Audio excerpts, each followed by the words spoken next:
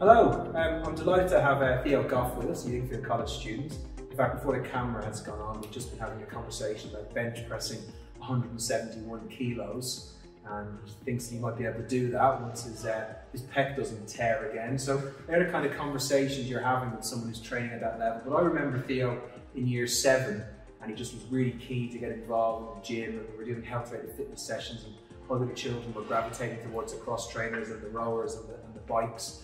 Theo was slowly edging towards the weights and I was kind of going, not sure yet, you can do a little bit, we did a little bit of work, but his desire to just kind of work out and get stronger was just, you know, immense. And, and from that age on, he started training. And we're sitting here now, basically just talking about his journey um, and I suppose how well we've done. I mean, currently we're third in the world, first in the country for 83 kilo weight class. Yeah, so just, I mean, I would love to know a little bit more about your journey and how it started and how you got to from you know that point to this point, really. So when I was about 11 or 12, my older brother started um, weight training, going to the gym. Uh, you both from H Yeah, yeah. Uh, and I sort of basically just in with them, and then slowly over time found I really enjoyed just getting stronger, seeing exactly how much I could. And getting stronger than them probably quickly. That was the initial, the initial goal was just to get stronger than them. Uh, and then one day, just working out my brothers, he looked at the current British records and noticed that I was already lifting more than one of them. So from there, contacted the powerlifting coach, uh, got started and then committed, and then we get from there. And in terms of your kind of training regime, I mean, what are you talking about hours, days per week? so four sessions a week, four hours at a time, so 16 hours a week in the gym. Uh, in addition to that, hours stretching mobility each day, so seven hours a week, along with seven hours a week of I was, I was going to say, what's your recovery process when you're lifting weights like that? I mean, a lot of hot pump stuff, along with even small things like um, physio and sports massage once a week, um, like stretching, mobility work, all comes together. And at the moment, so you came away from the World Championships with a bronze yeah, so, medal in Sweden. So bronze medal so I'm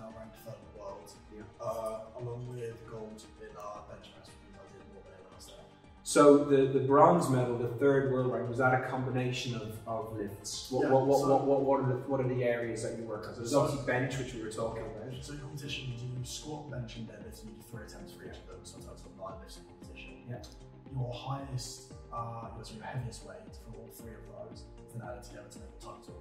Uh, so in the worlds, I did a 205 kilo squat, uh, 162 and a half kilo bench, and a 255 kilo deadlift, which then got me a 622 kilo 222.5 kilo total, which then ranks third overall with everyone else's totals.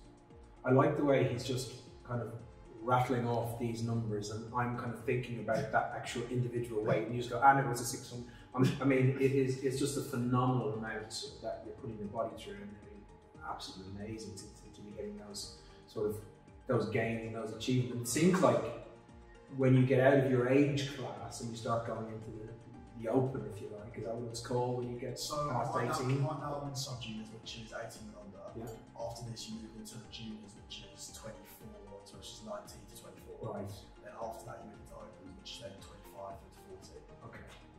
So next, year, is my last year in sub juniors. Next year, I'm looking against 24, 25 year olds. And where are you in terms of kind of what you're lifting now? Obviously, you're doing exceptionally well within your age group.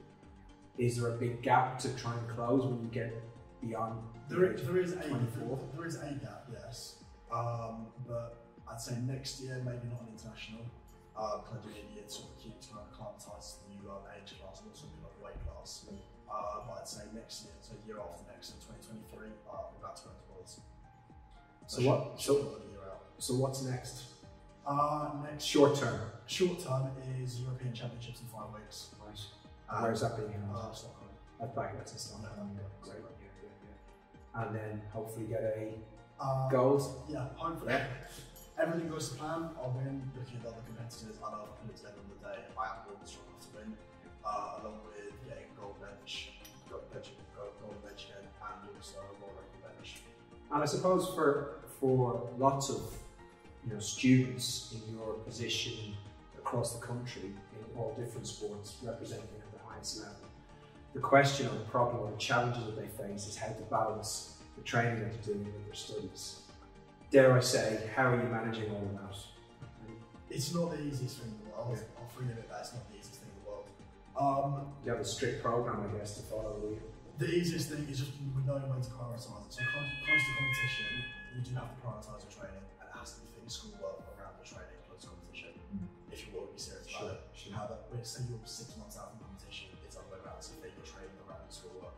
So it's, it's, it's, managing those cycles, really, isn't it? It's just You pri- need prioritising either training or schoolwork when you need to, depending on where you are uh, relative to the competition is. Sure, sure.